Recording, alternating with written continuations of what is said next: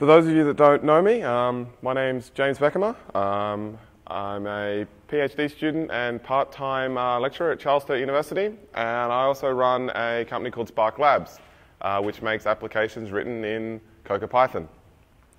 Um, there were also two uh, CocoaPython workshops recently, um, one in Sydney, one in Melbourne. Um, basically, this talks a bit of a condensed, condensed uh, introduction from those workshops, and we'll just be briefly looking at some demos, not too much live coding, uh, though if you do have a laptop, you're welcome to um, uh, bang away while we go through some of the demos. So we're just going to touch on what CocoaPython is, um, build up on some of the work from uh, Chris's previous talk, uh, have a look at uh, making completely native Cocoa apps in nothing but Python, um, some tips and tricks you'll run into making uh, CocoaPython apps, um, what you need to consider uh, before distributing a Cocoa Python application to other users, and um, if we get time, a quick look at using Cocoa Python in websites. So, because DevWorld this year doesn't have a dedicated session for looking at what Cocoa is, I'm just going to really briefly touch on it in a couple of slides, just so you've got an idea.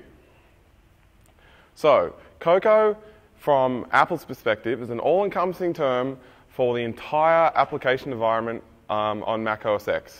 So it's not just the frameworks that Cocoa provides, it's also the entire runtime environment and development environment, i.e. Xcode and interface builder. And as mentioned earlier, uh, it was originally developed by Next Computer with the name NeXTSTEP um, in the early 80s, uh, late 80s and early 90s. But from a Cocoa Python perspective, we're only going to consider it as a set of object-oriented classes that provide access to things like user interface, graphics, sound, and other uh, objects. We're not going to consider the uh, whole runtime environment. Um, but it allows us to access Cocoa, and while the frameworks are written in Objective-C, we don't need to know Objective-C to use them. And this is what the Cocoa Python bridge is. That's just a quick rundown on what most of the functionality the Cocoa frameworks provide. Um, by now, I'd say most people would have an idea of what they provide just by using other applications. So I'm not going to run into them, um, but uh, obviously you might want to have a read through that uh, at a later stage. But a really important point I need to make is Cocoa and Objective-C are not the same thing. A lot of people say they're programming in Cocoa when what they really mean is they're programming in Objective-C. But uh, Objective-C is just a language. It's not Cocoa. You don't need to know Objective-C to use Cocoa. So a good quote that sums this up um, is from the website listed there. And at the end of the day, it's Cocoa that's the crown jewel, not the language, in this case Objective-C. So Cocoa provides excellent, excellent stuff under Mac OS X. Uh, just be aware that you don't need to use Objective-C to uh, use it. So as I said, um, Apple also considers Xcode and Interface Builder to be part of uh, Cocoa environment. Um, I'd say everyone knows what Xcode and Interface Builder are. Um, but if you don't, uh, Xcode provides project control, source control, source code editing, um, and is essentially just a graphical user interface to GCC for compiling and GDB for debugging. Uh, under Leopard, it comes with project templates for Objective-C, um, Python, and Ruby. So we'll be using the Python templates. Uh, interface Builder allows you to mock up an interface design without having to do it in code. Uh, menus, windows, buttons, controls can all be created without any code. Uh, it's also popular for prototyping. Um, even if you're not actually going to use what you've made in Interface Builder in a program, it's just good for mocking up a, a design to see if you want to use it. An interface builder can save in two formats, the newer xib format or the older nib format. Uh, CocoaPython supports uh, using both, so that isn't an issue.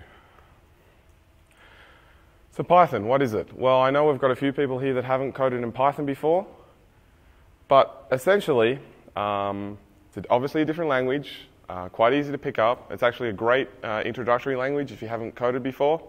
Um, it has a very, very diverse set of libraries. So while Cocoa's uh, got a great set of frameworks, Python has its own great set of libraries, and this allows us to merge the two um, and get a lot of functionality. It's very scalable. It runs on almost anything, um, from Mac OS X to Windows um, to mobile phones, you name it. And there's also a huge community. So there's tons and tons of third-party frameworks. It's very, very easy to find help if you run into any issues, even if it's CocoaPython problems.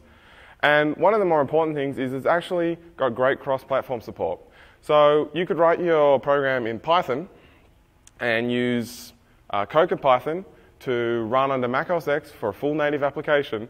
And you could use something like IronPython, which is uh, basically the Windows equivalent of CocoaPython, which is actually a wrapper for .NET under Windows. And uh, then you'll have a completely native uh, Windows program as well, uh, using the same code base. So if for some reason you're wanting to write a tool or an application that's cross-platform, uh, consider Python for that as well. So what is CocoaPython? Well, its real name is PyObjC, and PyObjC has been around for a long, long time. It's a very mature bridge between Objective-C and Python and has great support. Uh, it can be thought of as basically a fusion of the Python and Objective-C libraries. Uh, very flexible, allows very rapid development. Um, if you go to the Apple website and look at an interview with the um, developers of Checkout, a very, very popular um, application, um, they give CocoaPython a really, really big rap on how they're able to develop their application so much faster because they use CocoaPython rather than raw Objective-C. Uh, it's fully Apple supported as of Leopard, and it's supported under Snow Leopard. Um, and a lot of people just simply aren't a fan of the uh, Objective-C syntax. I really don't like square brackets, and this is a way around it. So just to give a few examples, just in case if you're really wondering whether CocoaPython is properly supported, well, Apple use it themselves. Um, under Leopard Server and Snow Leopard Server, they've got, just as one example, the calendar server. It's all written in CocoaPython. So you know when Apple are eating their own dog food, um, it's going to be well supported into the future. As I mentioned before, Checkouts won a couple of Apple Design Awards. Uh, it's completely written in CocoaPython. Um, it runs on Tiger Up. Um, it's really worth having a look at. It's just a fairly small download, 20 meg or something. But if you go and have a look and, and give it a, a bit of a run through, you'll see there's really no difference between the functionality of a, a Objective-C written application and a, an application written in Python. And just a bit of a shameless plug, that's a bit of an old screenshot, but uh, as I said, a lot of my experience in CocoaPython comes from running my own applications. Uh, Viscosity is one of them, just a very, very simple OpenVPN client. Uh, but it's completely written in CocoaPython with no real performance issues. Now, I'm not going to talk about the language today. Um, if you're interested, there's heaps and heaps of tutorials online. I don't really want to bore anyone um, into talking about Python syntax. That's basically the 30 second summary. Uh, all you really need to know is in Python, indentating, um, indentation sorry, is forced. You have to do it. So whereas in uh, C, C++, Objective-C, you might define you know, a block of, of code with, or Java as the example, with uh, braces, um, use indentation in uh, Python. So as we can see here, I've just defined a Python called my function, and I've said, hey, those three lines are part of my function because they're indented um, one step. So in that case, that's just a tab. You can use spaces instead if you want. And then I can see that that print statement is part of that if block because it's tabbed across one further. So a general rule there is if you've got a colon, um, you're going to want to tab, at the very least, the next line. So let's have a look at using CocoaPython. So as I said, um, the templates are included um, in Xcode um, for a normal application, a core data application, a document-based application, and so on. Um, you can use uh, Xcode's built-in organizer. I don't use it, but if you rely on it, it will work with CocoaPython applications as well. And both Xcode and Interface Builder can track outlets and actions without a problem. So we'll touch on them if you haven't done Cocoa programming before, um, a little bit later. So uh, creating a CocoaPython uh, project in Xcode is very, really easy. Under Leopard, just go File, New Project, and under Applications, select Cocoa Python application. Now, as we saw earlier, uh, it's a little bit different under Snow Leopard because Apple actually removed the CocoaPython templates and Ruby templates and so on. They said Xcode was getting a bit too cluttered. So don't interpret that as it's no longer supported. It still is. It just means you have to install the templates manually.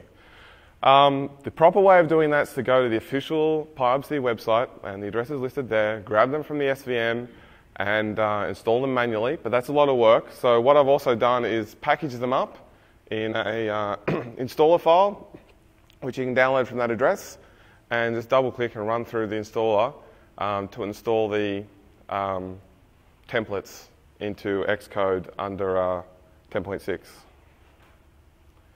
And rather than being under the application section, they install into the user templates area. It just installs under your user profile.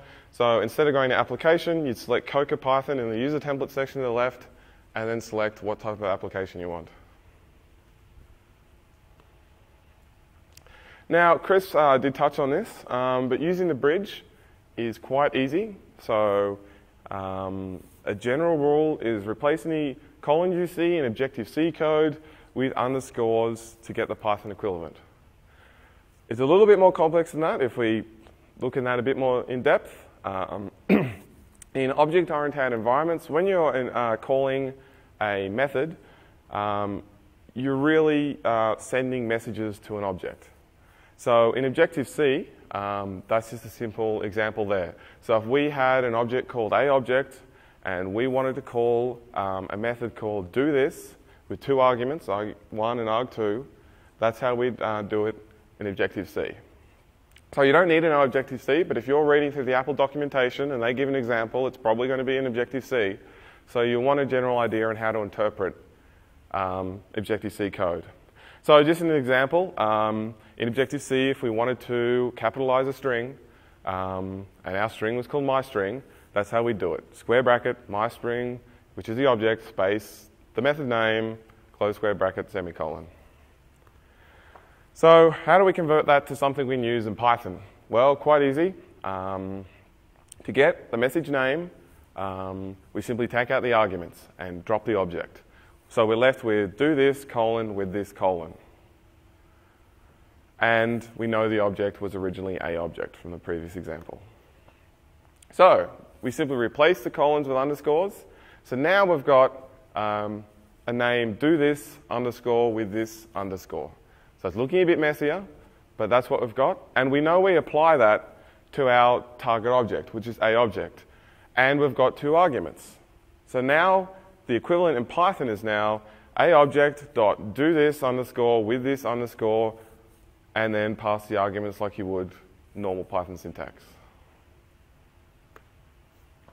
But you don't have to remember all that. Uh, Xcode auto completes uh, most Cocoa uh, well, calls, framework calls. Uh, usually you only have to type the first few letters and it will, if it figures out what you want, it, as you can see there in that little screenshot, it will display it there for you, or you can hit escape and it'll bring up a list of all the uh, method names or class names you could be going for. So you really don't have to remember much um, converting from Objective-C syntax. And as you can see there is if you, especially for long function calls in Objective-C code, it can get a bit confusing because they split out all the arguments. Um, so if you go to the Apple documentation, you can see there, uh, it's got the nice um, message name with the colons right there. Um, and they're all listed like that in the Apple documentation. So simply replace the colons with underscores and then grab the, the parameters and you're done. You've got your equivalent. So let's have a look at um, using that in a real world example. So let's say we had an application called a currency converter um, that simply um, converts a currency given a given rate. Um, in Objective-C, we might have a class that we instantiate called converter. So we're uh, allocating the memory and then initializing it, setting the currency amount, setting the rate, and then calling convert currency, which returns the converted amount. The equivalent in Python, as you can see, is quite easy to do. Uh, you'll see there's no underscores for things like alloc and init because there's no parameters. A general rule is you're almost always going to have one underscore per parameter. Uh, you can see when we set the source currency amount, there's a colon there, and then we're giving it a parameter.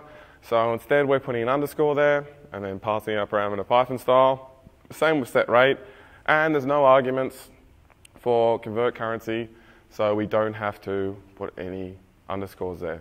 So very, very simple. You'll be able to read each. You can go back and forth if for some reason you want to convert some of your CocoaPython code back to Objective-C. It's, it's very, very easy to do. All right, demo one. Um, this isn't a code along demo. Um, basically, this talk was given at DevWorld last year as well. And one of the other talks at DevWorld was uh, a core image example, uh, written in Objective-C, showing how easy it is to use Cocoa from Objective-C. So the challenge was on, of course, for the Cocoa Python talk to convert this to Python. So I didn't know anything about core image at the time. It took me about half an hour.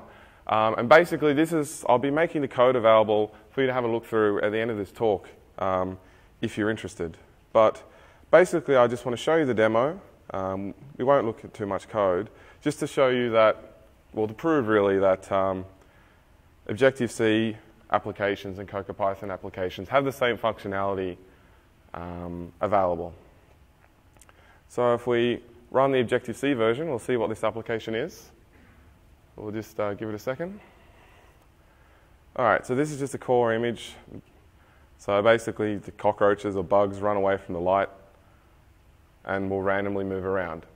So that's a fairly simple look at using uh, some of the cool Cocoa frameworks, and that's all written in Objective-C. So what about trying to write that in Python? Well, no big problem. We'll just build and go that.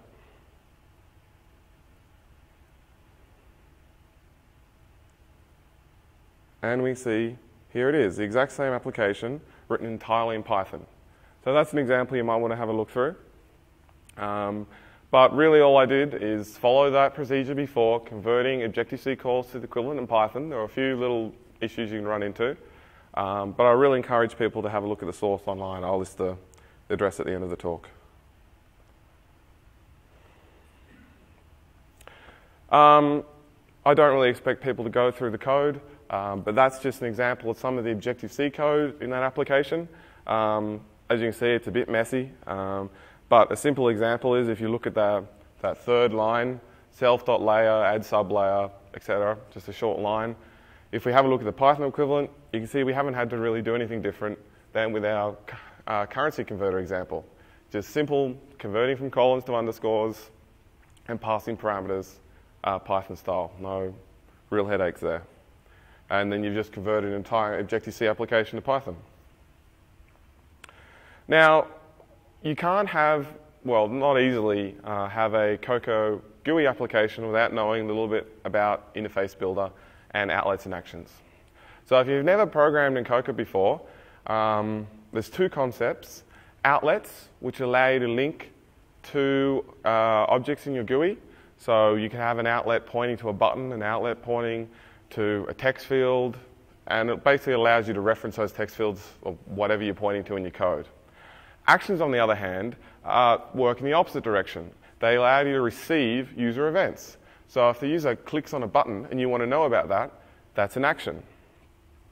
So in Python, um, defining outlets and actions is very easy and it's fully integrated with Interface Builder. So as an example there, defining outlets, you simply put them in your Python class at the top, so they're static. And here I've defined one called window, and I just go window equals IB outlet. And then Interface Builder will automatically parse that source file, figure it out it's there, and then when we jump into Interface Builder, as I'll show you in a second, um, it knows everything about it. Likewise, defining an action, we just put a decorator there at IB action above the function we want Interface Builder to know about. So in this case, I've just called it send message. Uh, there's one thing I'll point out there with actions is this is just standard Cocoa stuff. If you look at the Cocoa documentation, is one thing they accept is a sender. And because we're accepting a parameter, we have to do the opposite of our rule. Um, so Objective-C, the uh, code in Cocoa is going to be calling our function called send message. And as we're accepting a parameter, we have to add an underscore because that would be a colon if we're calling Objective-C code. So let's have a look at building a really, really simple example.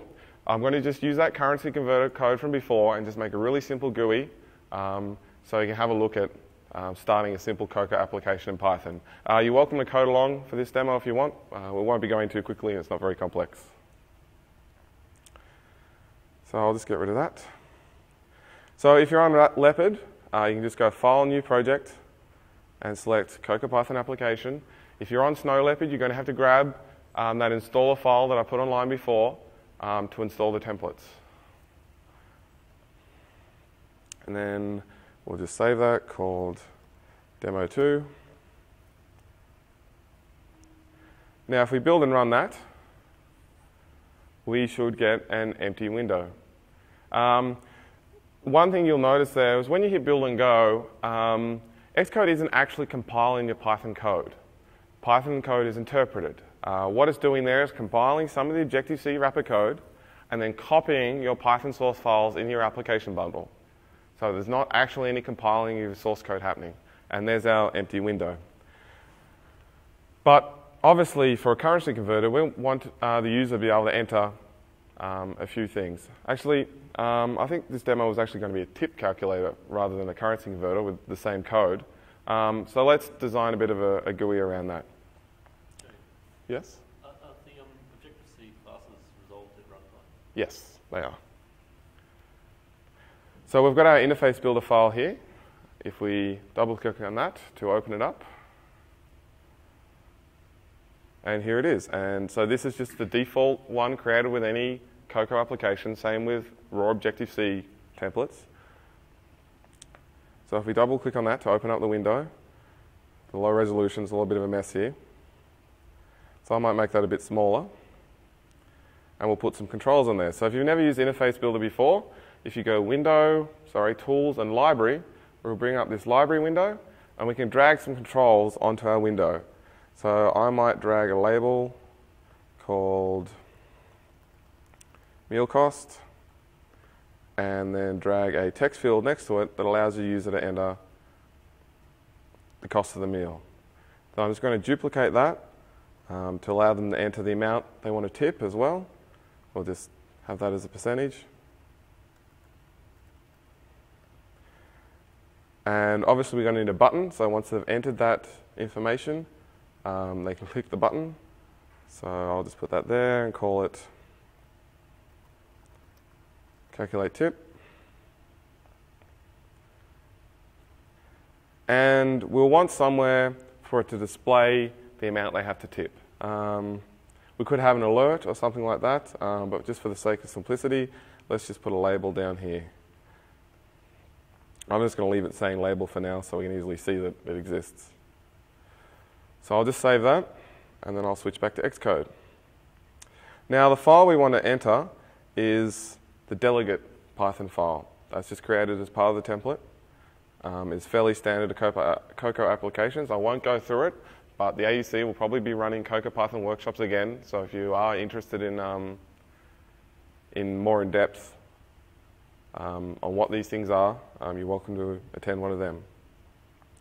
So that's just a default uh, template file. Basically what happens is when we run the application, that window will open up as it's set to open up in Interface Builder, and we'll get a string printed to the console saying application did finish launching. But what we want to do now is, as we saw in that code in the slide, we need some outlets so we can access what the user enters in our text fields and an action so we can find out when they click the button. So I'm going to have an outlet called meal cost. And I'm just going to go like that. I'm going to have another one for the tip field. And so we can write to that other um, text field I created the result, the amount they have to tip.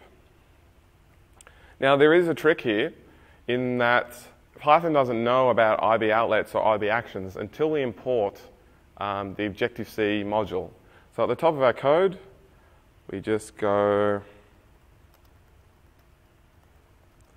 and that's letting our Python code know about um, some of the functionality the bridge provides. So we also want a action. So just below uh, application did finish launching, I'm going to add an action and I'm going to call it uh, calculate tip. Whoops, because we have a sender, we have to have an underscore. And for now, let's just check that this action will work. I'll just say button clicked. So nslog is a function that um, the bridge provides, that's in Objective-C code, and just basically prints what you say to the console. So that'll run, but that won't do anything yet, because we actually have to link those in Interface Builder. So if we switch back to Interface Builder, we should still have our xib file open. And here's our delegate class listed down here. So we've been editing the code of that, and Interface Builder has it listed there. So it's got outlets and um, actions. Interface Builder will automatically parse them when we save the file. So we want to connect them. It's quite easy to do. You just hold down Control and click and drag. So for example, I've just clicked, held down Control, clicked and dragged from our app delegate class to the mule cost field, and then I'm going to join that mule cost outlet we just created in Python. I can do the same with the tip field, and I can do the same with the result field. So that's dragging from the app delegate onto the control we want to link to that outlet. For actions, we simply do it the other way around. We're going to say, hey, button, when you fire your action, instead, go to the app delegate. So we control click on the button, go to the app delegate, and connect the calculate tip action. And then we can just save that. So now if we hit build and go, that's always a good sign. It's going to be tabs. Yes. Um, this is one trick that I always run into with demos. Um, the Xcode templates use spaces uh, for indentation, whereas I use tabs. Most people use tabs. You can edit the Xcode um, templates, but I find it just far easier just to tab things across. There is a, um, a trick where you can go, I think it's to the view or edit menu and say convert spaces to tabs, but for the sake of this, we should just be able to do that. And there's our window. So if we switch to debug view, we'll have our console down here. That's where errors are also displayed. Um, Xcode, because uh, Python's interpreted, Xcode doesn't pick up any syntax errors at compile time. When you try and run your application, that will be displayed in the console. So we got our application did finish launching message. Um, if we click calculate tip, we can see we've uh, successfully connected that action. We get the button clicked message. So now we just want to add um, our code to calculate that tip. So rather than boring everyone, um, I'm just going to copy and paste some nice pre-made code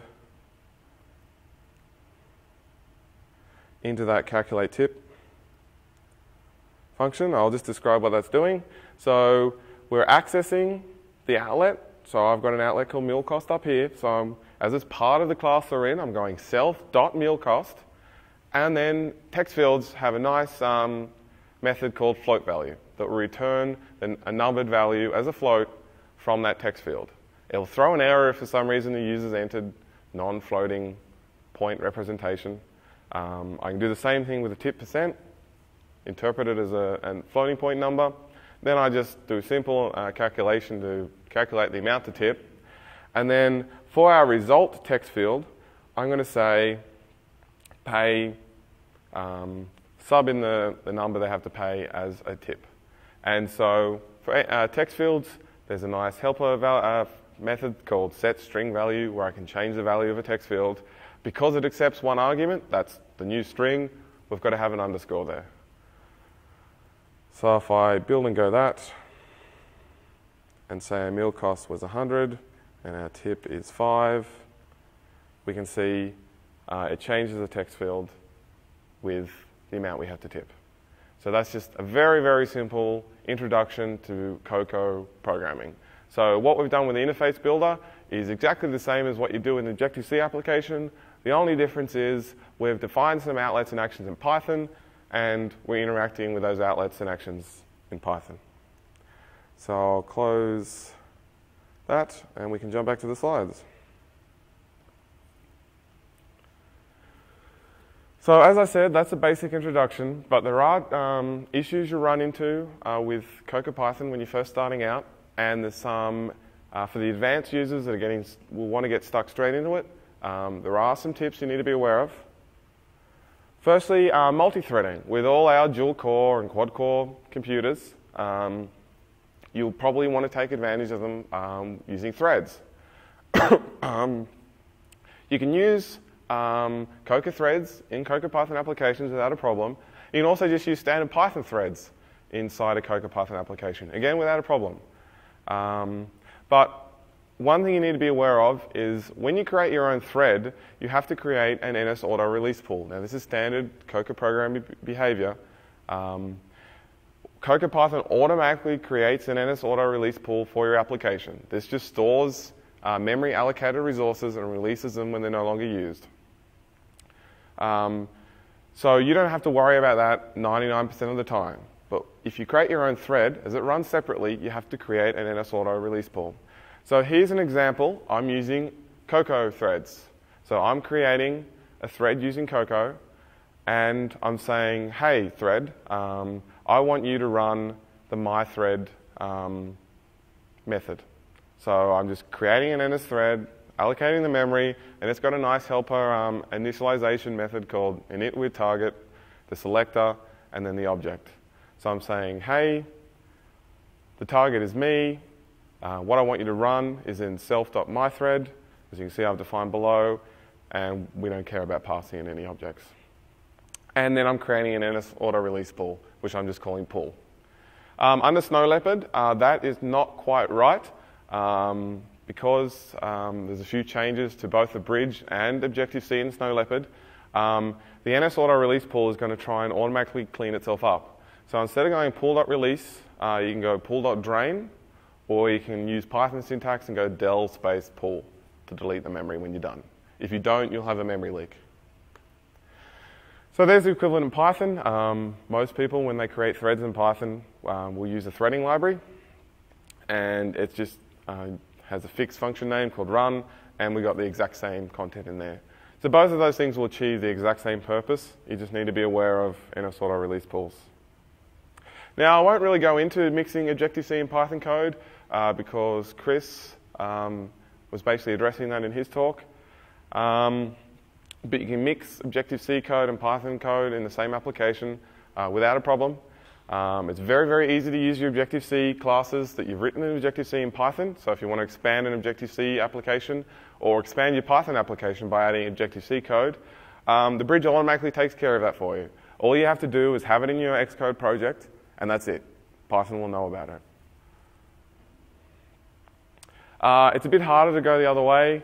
Um, Chris was addressing that, but basically you need to write a wrapper. Um, otherwise, it's very, very hard. Objective-C does not know about Python all that well. It doesn't have a nice fancy bridge.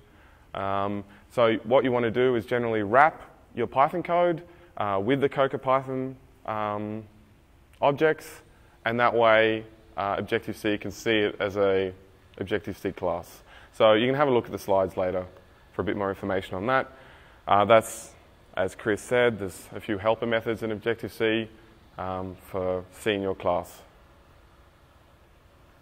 Uh, I will touch on this, and that's using custom Objective-C frameworks uh, in your um, Python applications. So Growl is a popular third-party um, framework. There's going to be a Sparkle talk tomorrow. Um, these are all easy to use from a CocoaPython application. Um, they just need to be loaded, and there's a helper um, function for that called load bundle, surprise, surprise, in the Objective-C uh, module, which we imported before. And that's just an example of how you do that with Growl. So I'm going, hey, this is the location to our Growl framework, load it. Um, the CocoaPython bridge automatically takes care of all the importing, and we have access to it straight away. So I'll just uh, give up, bring up a bit of code um, for using Growl. This is an example. Um, you can obviously run whatever you want.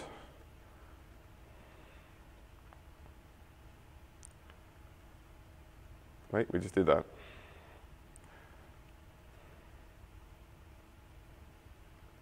So I won't type it out, otherwise we'll run out of, time.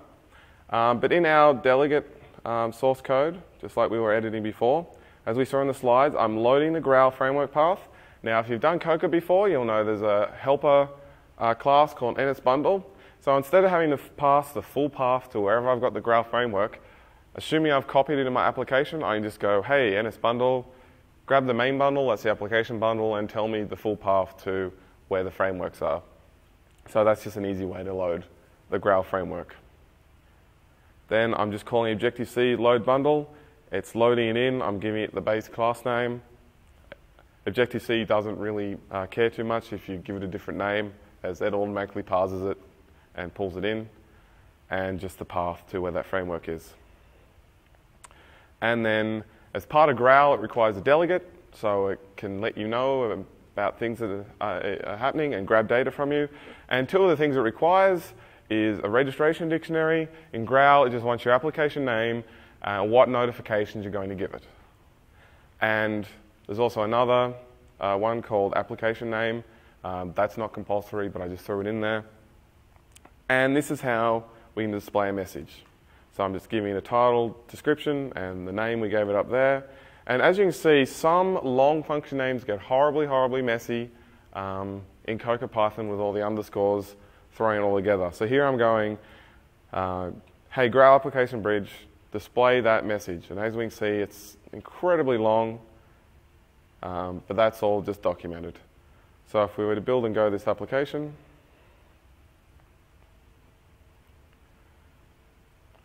here's a simple example, and when I click Growl message, that's essentially what Growl does, display notifications for you. So it's in a lot of third-party applications, Adium's a big example of it. And uh, if you are building commercial apps, you might want to throw in something like Growl. So that's just a simple example of how you could go about using it, just with a few lines of code. Now, this was a popular example in the Cocoa Python workshops given at the start of this month and late last month. Um, basically, um, we just wanted to work on something from scratch um, and have a little bit of fun with it. So we came up with a Bluetooth uh, device fish tank. So we we're using Bluetooth in our computer. Um, from nothing but CocoaPython, we wanted to scan the area for Bluetooth devices, get the name if we can of any Bluetooth devices found, um, draw the name and a simple little icon to our screen, and have them moving around randomly, a bit like um, you're looking at a fish tank of Bluetooth devices. And that's just an example of what it looked at, I think, in the Melbourne workshop um, of the moving around. So I'm just going to show you a bit of code on how you could achieve this. So what's the first step you want to do? If you're writing, this is basically what you'd start doing if you wanted to write an application right now. So you've had your idea. The first step is going to be documentation. So how the hell do I scan for Bluetooth devices? So I pull up the documentation in Xcode and search for, you know, Bluetooth scanning and things along those lines. And hey, what do you know? There's a uh, class called IO Bluetooth Device Inquiry. Great. But it wants a delegate. So it can let you know when it defines a device. So hey, we're going to have to implement a delegate too. No problem. So what do we have to implement to have a delegate? Well, thankfully, in the documentation, we can see it defines here a protocol for I.O. Bluetooth device inquiry delegate. Um, and there's a few uh, methods it lists. Um, they're all optional, so you can find out when a scan's complete, uh, when a device is found, you know, when it started, all those type of things. So we'll implement a couple of them um, so we can know what's going on. So I'm not going to start this from scratch. Obviously, this was, took several hours in um, a two-day workshop. So I'm just going to pull up the complete code and point out a few particular uh, points. I might turn on Bluetooth on my phone. Now, there's no error checking happening in here, um, as it's just a simple example. Um, so if you don't have Bluetooth turned on, it will crash and die horribly. So in a real application, you obviously want to check whether your laptop has Bluetooth turned on or not. Um, but if I just make it so my phone is visible and hit build and go, hopefully it works.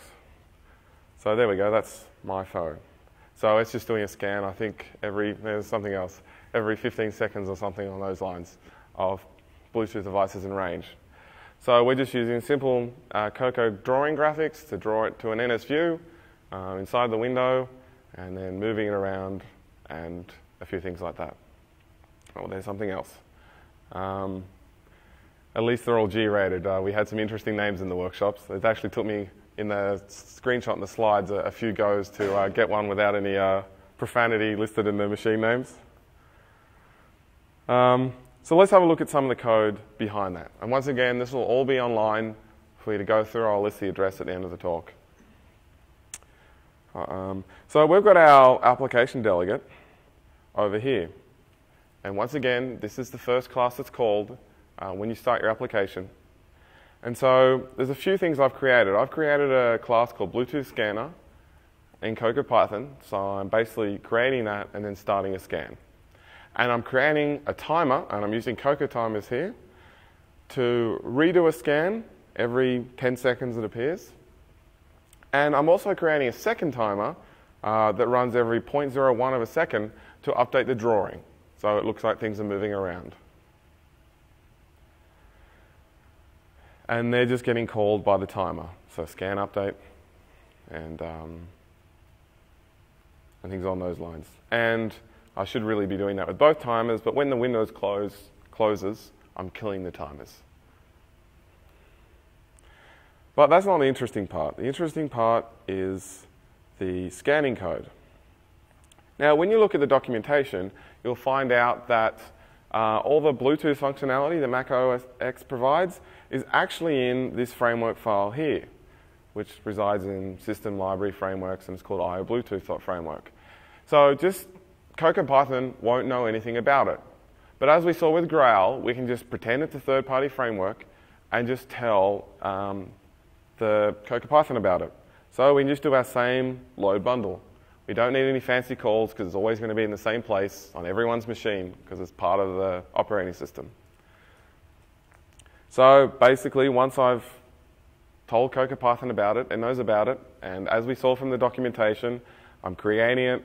That's just one of the functions in the documentation. I'm saying, hey, scan for five seconds and start scanning. And I've implemented two of those um, delegate methods we saw before. So I know when a scan is started because that delegate method will get called. And this delegate gets called as soon as the device is found. So initially here I was just printing out the device found and getting the name, and that's just a helper method that is in the framework. If you can't get the name, it just displays the address. And, but because we're drawing fish tank, I'm instead going, hey, tank view, which is another CocoaPython class, um, display our fish on screen. And then over here is some drawing code. This is moving code for the fish. Um, sorry, and down here we have our view, and this handles our drawing code. So uh, once again, for Cocoa, drawing to a view is very, very easy. You just implement your drawing code, Cocoa drawing code inside the drawrect uh, method. And um, here, this is where I'm drawing it. I've just got example, uh, so a simple example in some comments there of if you just want to draw random points around. Um, so I'll put all that code online for you to go through at your leisure. Um, but it's just showing that you have the full power of uh, Cocoa from CocoaPython. So if we jump back to the slides. All right, so a few tips uh, for packaging your application. Now, with Objective-C, most of the time you'll just hit build and you know, put your application to DMG and start giving it out to your users. Um, you can do that with your CocoaPython application as well, but typically you won't want to treat it quite that simply. There's a few considerations. One, whether you want to make your source code available to everyone. Two, whether you've used any third-party Python modules. And three, how backwards compatible you want your application to be. So as I mentioned before, when you hit build and go in Xcode, it's not compiling your Python code. So we're used to giving someone, when we've written in Objective-C, an application and they get a binary copy and they can't look at your source code, which is great for commercial applications. Um, but that doesn't happen for Cocoa Python applications. uh, what it's doing is, in fact, copying your Python source files into the application bundle and then telling Python um, to run them.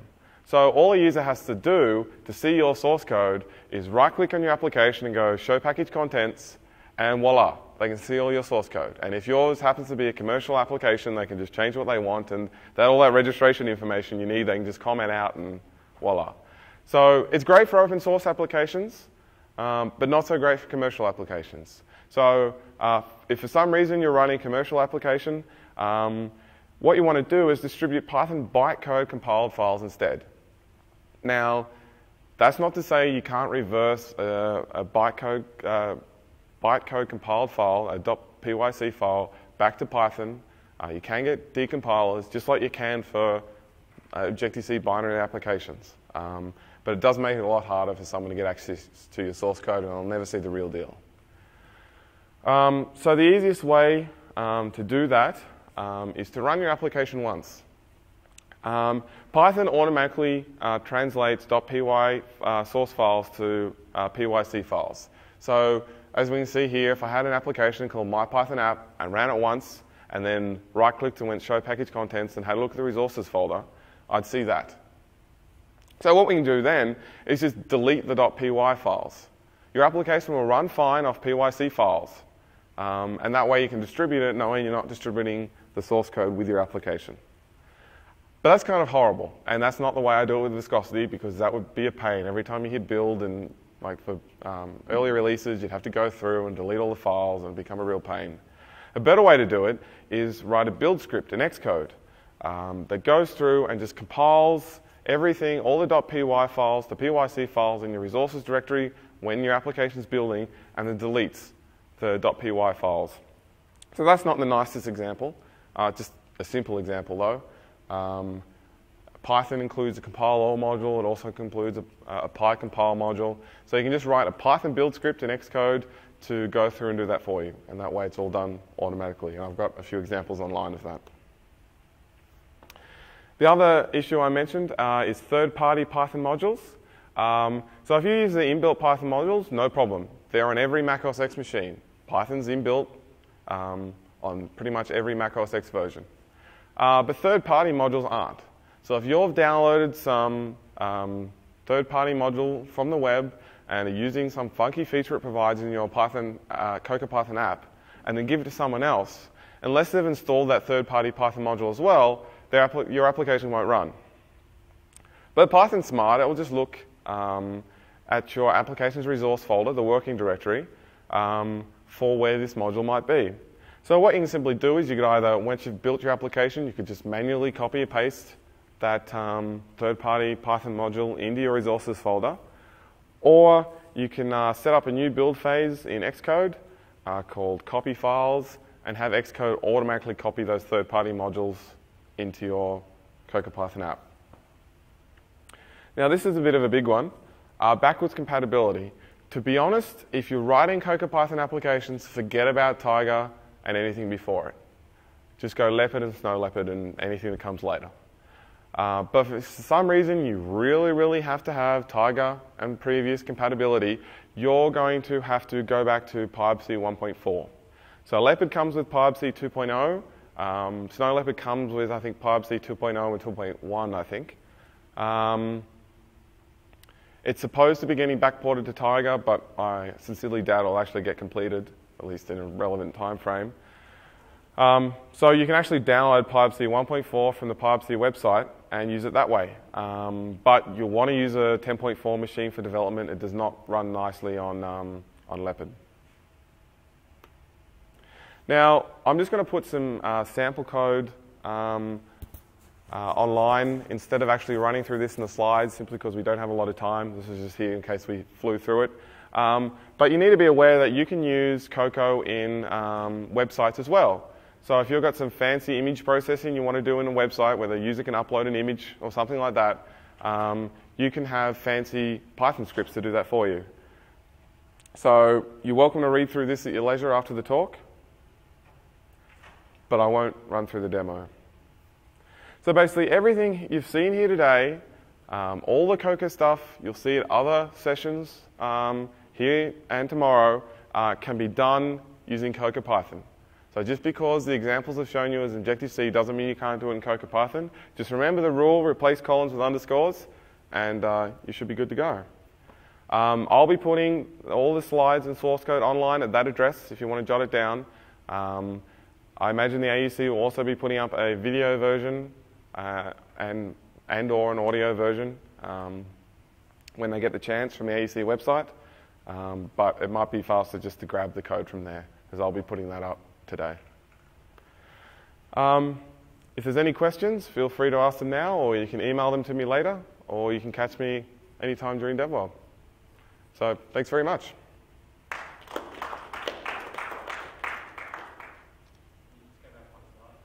Uh, no worries. How do you define C functions? What's that? C functions. What about them? Like a corporate You'd have to run a, you'd have to write a wrapper to the C function Objective-C or a Python plugin. So Python's, Python works well with raw C quite easily, but if it's in, you can't. But you know, if you've got a .c file and you just drag into Xcode, Python's not going to know about it unless you So put a wrapper around it. don't want to write a, um, a thing for, say, um, the C functions. You could still use the Objective-C in its operation, in its operation queue to say, get Yes. GCD. Yes, you could do that. Yes. so, well, I mean, yeah. So that's one way of doing it. So, I must admit that I'm a bit lazier. I mean, I don't use a lot of C in my applications, but the lazy approach I take is if the example of a class in Objective C, I'm like, I don't want to port that to Python. Uh, that's, I'm just too lazy for that. You can just drag it straight in Xcode, and Python knows about it. You're like, uh, you know.